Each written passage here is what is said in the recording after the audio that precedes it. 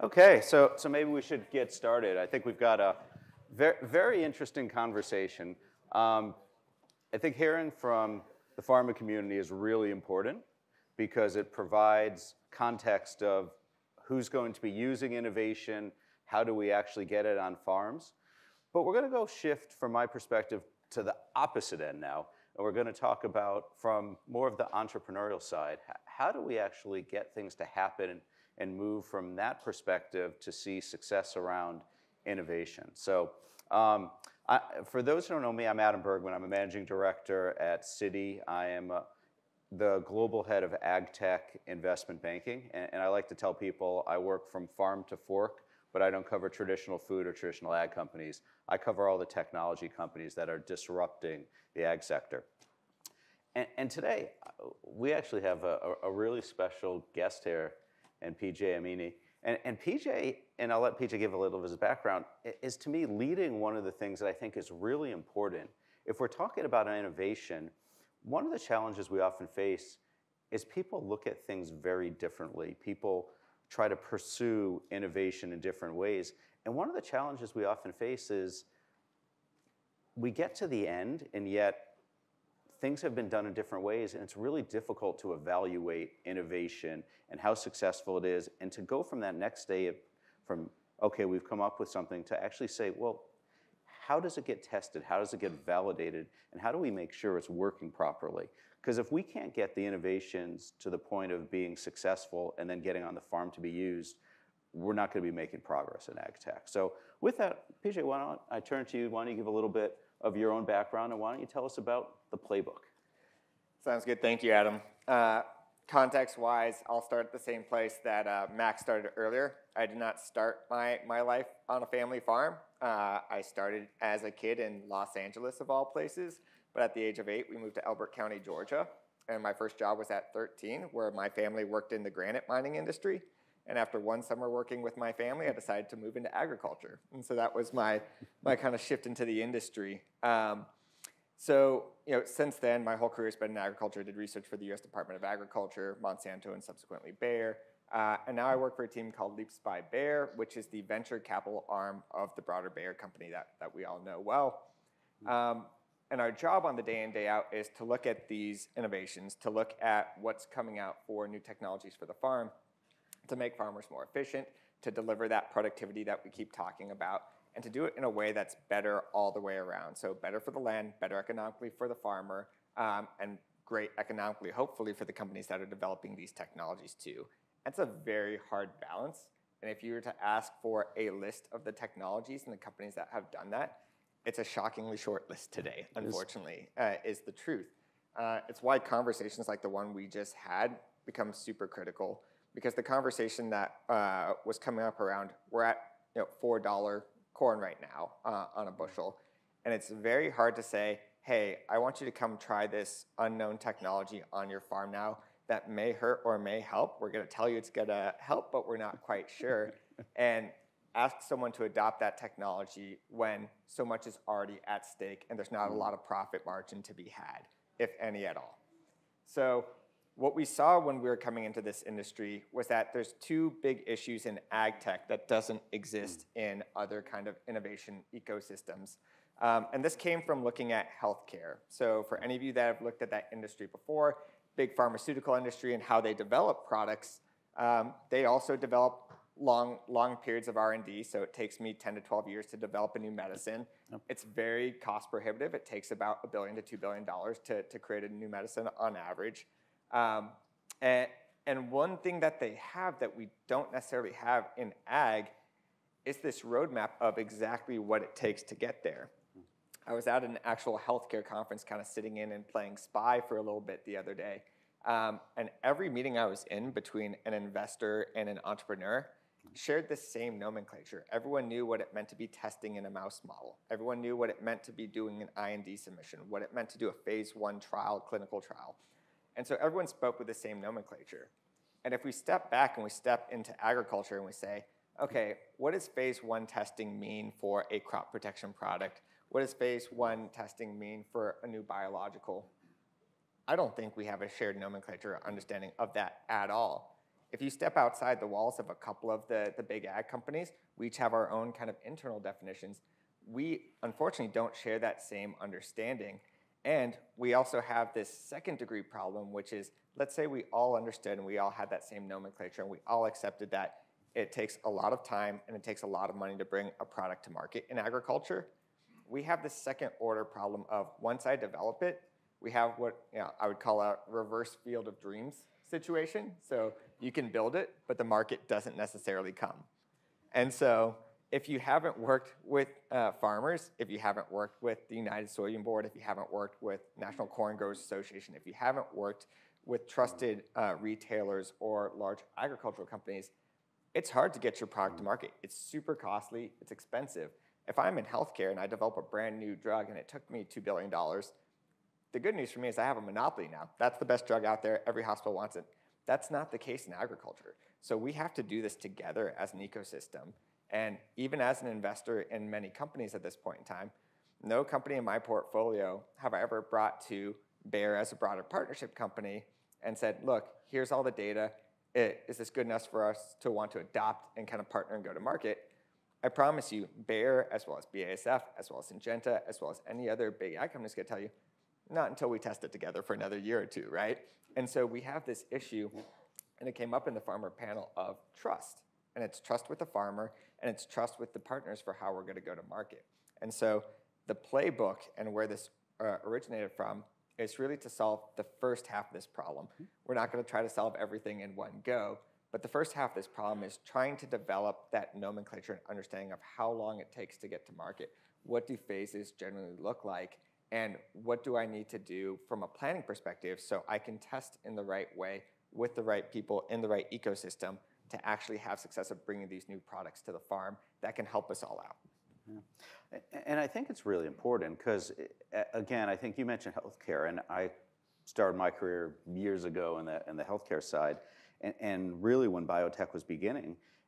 And, and to look at where the biotech sector is today, it's, it's changed dramatically. And you talk about the capital goes in, but, but there's an, an exit. And, and, and you, didn't, you didn't use that word as strongly, but, but I guess as a banker, it's in my lexicon to use the word exit. And, and one of the things I think we see with a lot of these entrepreneurial companies starting out is we're not seeing exits because the companies are not getting to the level of development where buyers want them.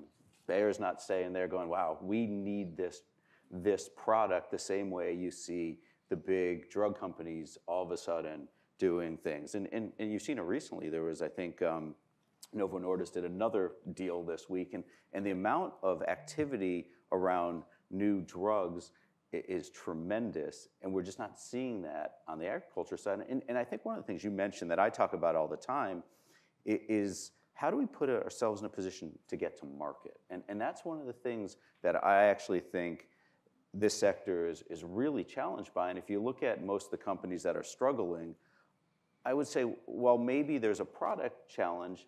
Most of it is they just can't get to market. And, and, and even if you show a product works, how many years is it going to take to get on a significant amount of that farm? Because you're going to start off year one and you're going to be in a small corner. And if you prove yourself out, you'll get in a bigger piece. And then after time, you'll get there. So, so when you think about the playbook, why, why don't you tell us a little bit about the types of people you're working with and, and, and really how do you go from what I think today is an exciting unveiling to kind of that next step of, of how we get the, this sector to, to start to gain some momentum behind this? Yeah, so um, the first step here is kind of creating that, that, that same level of nomenclature, right? So to do that, you have to pull uh, not just one voice, but the voices of many to kind of get that shared understanding, right? So luckily, I've got a couple of uh, the reviewers uh, and editors of the playbook here in the room. So one, thank you to those of you who've offered your time to, to do that. Um, full transparency, you guys are getting an early look at this. This playbook will come out in the next three to four weeks, and that's kind of the timeline we're looking at to finally release it. The first chapter will talk about crop protection technologies and the time it takes to, to bring that forward. Um, but in this, we have editors from uh, a number of the big ag companies, including uh, a couple of former CSOs of the big ag companies who've brought hundreds of products to market at this point in time. Uh, a couple of entrepreneurs who are actively working through this right now and learning that, those lessons the, the hard way. Um, and then some other uh, kind of innovators who've worked more on a research capacity, uh, who've done different phases of this, but haven't maybe seen the whole picture. So we wanted all these different perspectives to come into this review cycle so that we could all look at this and say, this becomes the same kind of nomenclature that we all use. Um, the, the aspect of releasing this and the hope longer term, and this is what Adam was talking about uh, uh, a second ago, is we've got one claimed billion dollar exit in, in, ag, and that's in the digital space. So that's not even in the, the, the input market space. Yep. Um, we finally are seeing a couple of products, and I'm going to use crop protection as the example here. Uh, we do see a couple of products finally making their way to market, but let me use a couple of examples here. So Vestaron on, on the peptide front, um, and let's look at uh, uh, Greenlight Bio uh, as well on its RNAi uh, front and what it's bringing to market.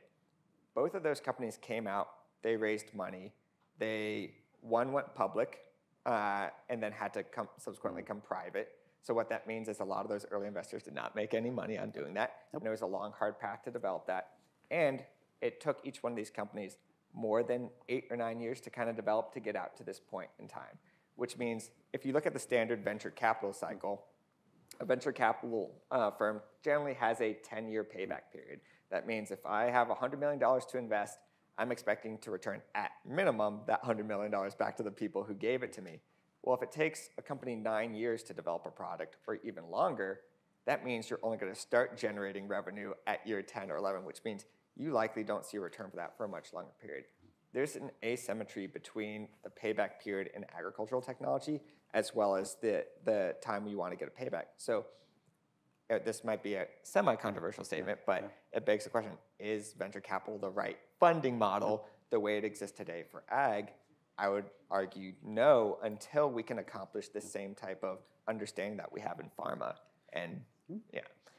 I was gonna, I was gonna say if that is a controversial statement, yeah. then I'm in trouble because I've been saying it for, uh, for, for thanks. For, for a very long time because I, I actually don't think venture capital is the right model for most of ag tech. I, I just I, and and I am someone who spent 20 years doing clean tech sustainability and I started doing it in solar in 05 and it wasn't the model for solar and it's not the model for electric vehicles and it hasn't shown to be a model for, for ag tech. So I don't, I, if it's controversial, then, then you and I are controversial because right. we're on the same page. Oh, and it's me putting my own job at risk since I work in that space. uh, um, well, I, actually, if it's fair enough, I might reverse the question back to you, right? Sure. We, we, we both played in this industry a fair amount of time.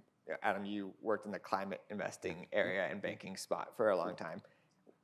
I mean, is this the first idea like this that you've yeah. seen out here? Have you seen other versions of the playbook? I'm curious for feedback, and I'm curious yeah. for feedback from the audience yeah. as well. So, so as we were talking, and, and uh, PJ was telling me about the playbook, it, it, it, harkened me back to about a decade ago, um, or it was probably less than that. It was probably six or eight years ago.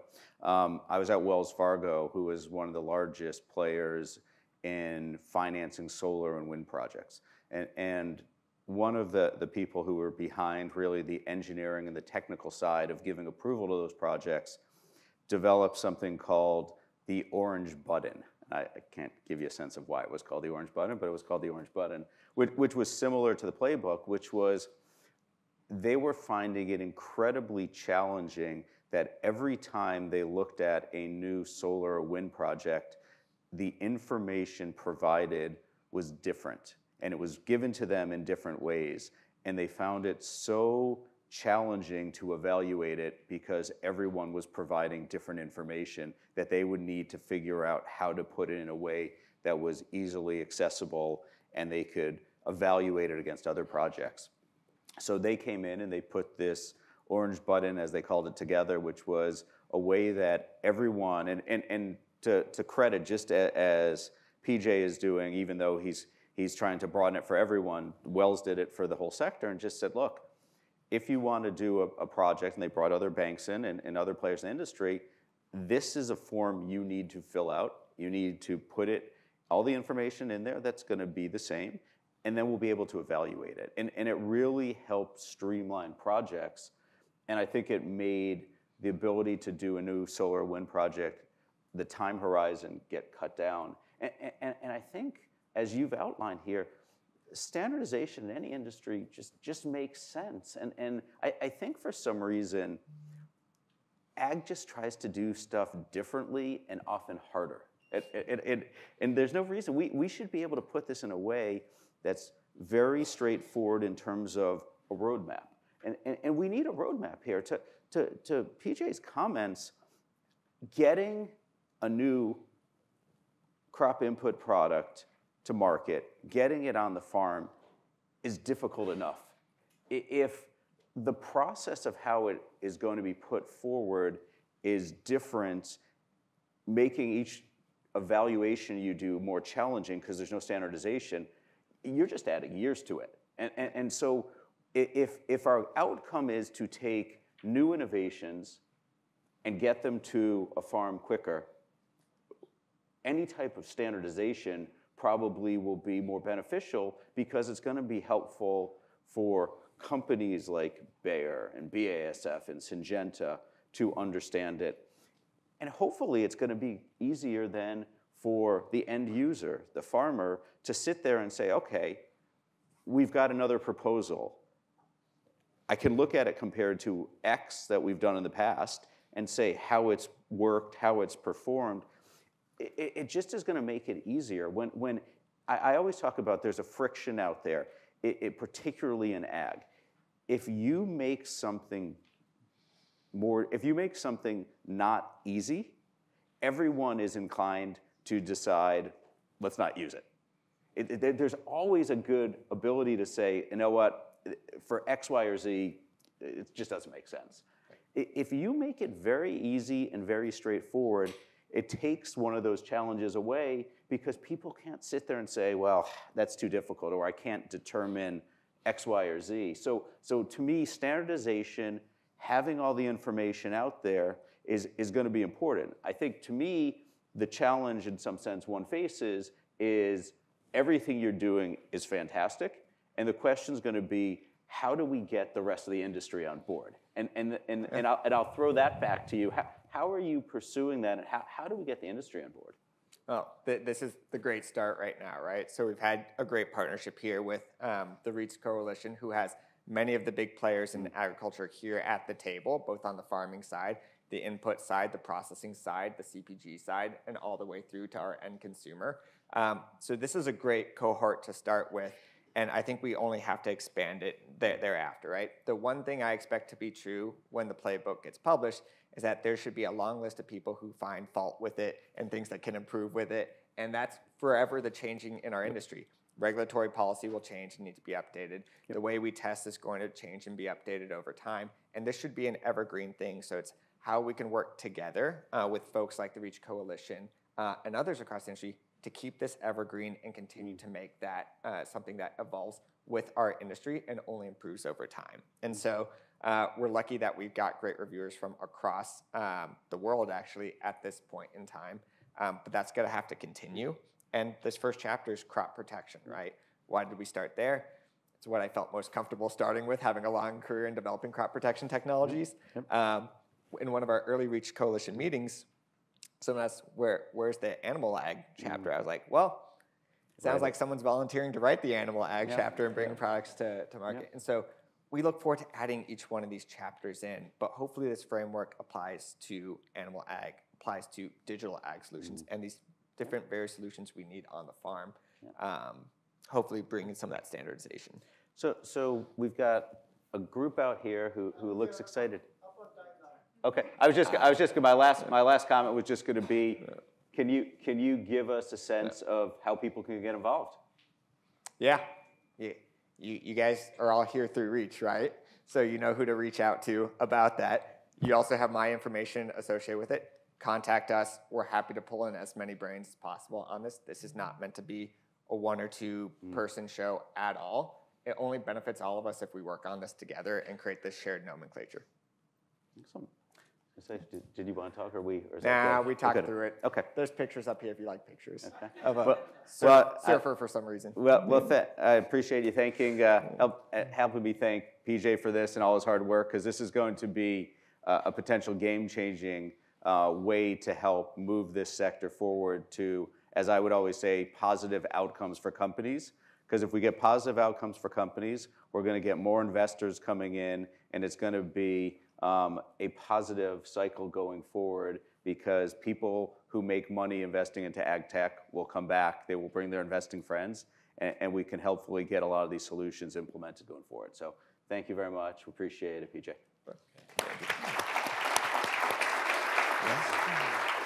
Okay.